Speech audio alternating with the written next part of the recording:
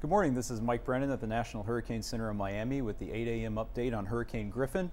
Griffin's currently located over west central Florida, about 70 miles to the southeast of Tampa. It's moving off toward the west northwest at 15 miles an hour. Over the past few hours, Griffin has weakened a little bit, but it's still a Category 3 major hurricane with maximum winds of 115 miles per hour.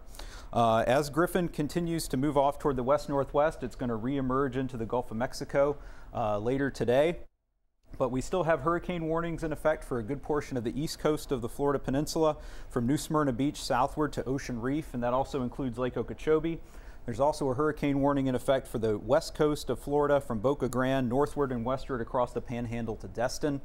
Outside of those areas, we have tropical storm warnings in effect for the southwest coast of Florida and the Florida Keys, the northeast coast of Florida, and the portions of the panhandle west of Destin. Uh, we do expect Griffin to, uh, to move offshore uh, into the Gulf of Mexico later today and then gradually turn toward the northwest and the north, and that's going to bring the center of Griffin very close to the Florida Panhandle early Tuesday morning. Uh, and uh, we do expect Griffin to have the potential to re-strengthen, uh, possibly being near major hurricane status as it makes landfall in the Florida Panhandle. Um, in terms of the hazards, hurricane conditions are, are going to continue across much of the central and southern Florida Peninsula this morning. Uh, tropical storm conditions are going to begin in the panhandle later today, so folks there really only have a few hours to prepare before the uh, conditions begin to deteriorate.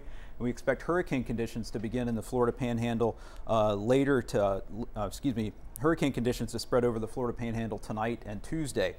Um, in terms of the hazards, Storm surge is going to be a big threat here. Uh, the surge is going to diminish from 5 to 8 feet along the, the central and southern east coast of Florida down to around 2 feet as, uh, as Griffin moves out into the Gulf of Mexico. But along the coast of the Florida Panhandle, we expect a storm surge of up to 8 to 14 feet above ground level, near and to the right of where Griffin makes landfall. And that surge could penetrate inland as much as 10 to 15 miles from the coast. So it's not going to just be a coastal event for storm surge. Uh, folks all along the Florida Panhandle need to be especially concerned about that. Um, other hazards are going to include rainfall of up to 10 to 15 inches across much of Florida, and that could produce some uh, uh, flash flooding in terms of fresh water that people are going to need to be concerned about. Uh, the tornado threat is going to be uh, isolated tornadoes across the Florida Peninsula today, and that threat is going to expand up into the Panhandle and to the rest of the southeastern U.S. as we go through tonight and Tuesday. Uh, I'm Mike Brennan at the National Hurricane Center in Miami with the 8 a.m. update on Hurricane Griffin.